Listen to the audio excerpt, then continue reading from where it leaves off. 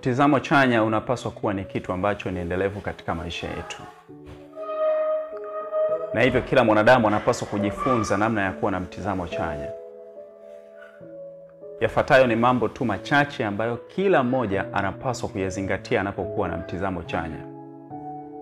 Moja wa, mojawapo ya kitu ambacho mtu anapaswa kuzingatia katika mtizamo chanya, tunapaswa kuwa na mtizamo chanya juu yetu sisi wenyewe binafsi.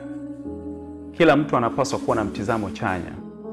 Kuna makosa mengi inawezekana unayafanya, lakini unapaswa kuwa na mtizamo chanya juu ya maisha yako mwenyewe.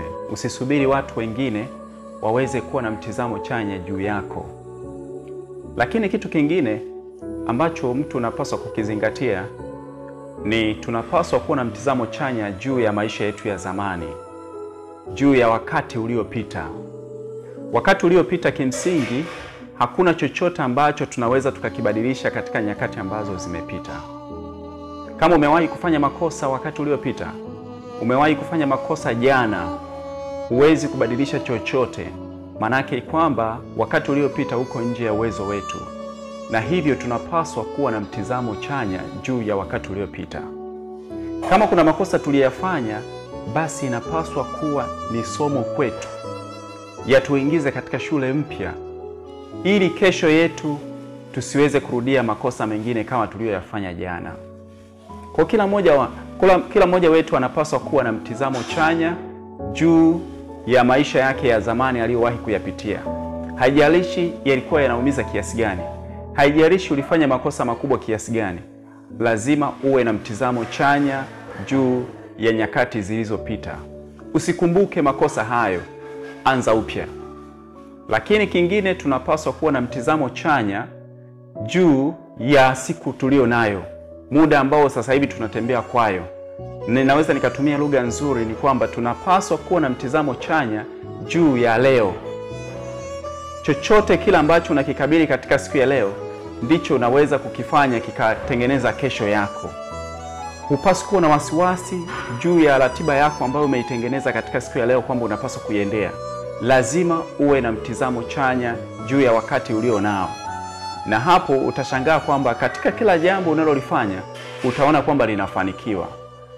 Lakini jambo lingine la msingi, tunapaswa kuwa na mtizamo chanya juu ya nyakati zijazo. Watu wengi inasadikika kwamba wanaofikia mafanikio ya juu zaidi ni wale ambao wamekuwa na mtizamo chanya juu ya nyakati zinazokuja, ikiwa ni miaka miwili ijayo, ikiwa ni miaka mitano ijayo unakuwa na mtizamo chanya kwamba mimi ninataka kufanya hiki, na ukisha kuwa na mtizamo chanya nyakati zijazo, inakupa nafasi ya kuweza kufanya vizuri katika wakati ulio nao. Na hivyo basi, kwa kufanya hivyo, kwa kuwa na mtizamo chanya juu ya nyakati zinazokuja, utakuwa itakuwa inakusaidia wewe kutengeneza afya ya akili yako, na uwezekano mkubwa wa kufanya kuweza kutimiza malengo yako utakuwa upo pale pale. Niseme nini basi? Lakini liko jambo la msingi ambalo kila mmoja wetu anapaswa kulizingatia kwenye mtizamo chanya. Pia tunapaswa kuwa na mtizamo chanya juu ya watu wanaotuzunguka, juu ya mazingira yanayotuzunguka, mazingira yetu ya kazini. Wapo watu wanapitia nyakati ngumu kwa sababu tu ameshindwa kukubaliana na hali ya mazingira alipo. Kimsingi hakuna kitu ambacho ni kikamilifu, ila vipo vitu ambavyo ni vizuri.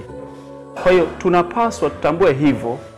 Kwa hiyo unapokutana na jambo fulani ukalifurahia, ukalipenda, usitegemee kwamba hilo jambo au hicho kitu au huyo mtu ni mtu mkamilifu, ana mapungufu yake, na kwa sababu ni mzuri, basi unapaswa ujifunze mazuri yake na uweze kuendana pamoja na yeye. Kama ni mazingira kuna kitu kizuri ambacho umekipenda katika mazingira hayo, haijalishi tofauti zilizopo katika mazingira yale, unapaswa ujifunze uzuri wa hivyo vitu, na kwa kufanya hivyo utajikuta kwamba unakuwa ni mtu mwenye furaha wakati wote. Tunaishi na, wa, na wenzetu katika mazingira yetu ya kazi.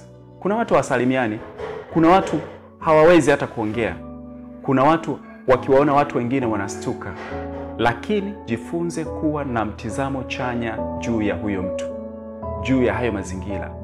Hiyo ndiyo siri ya ushindi, kwa sababu hakuna mwanadamu, hakuna chochote kilichokuwepo hapo kilipo kwa sababu ya peke yake, ila tuko hapo tulipo ni kwa sababu tumeshikamana na wenzetu, tuko katika mazingira.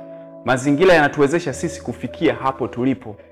Kwa wewe ukijitoa kwenye jamii, ukijitoa kuhusiana na wenzako, maanake unajiandaa kuwa mshindwa wakati wote, kwa sababu afya ya akili yako haitakuwa salama, na kama haitakuwa salama, maanake hautaweza kufikia malengo yako.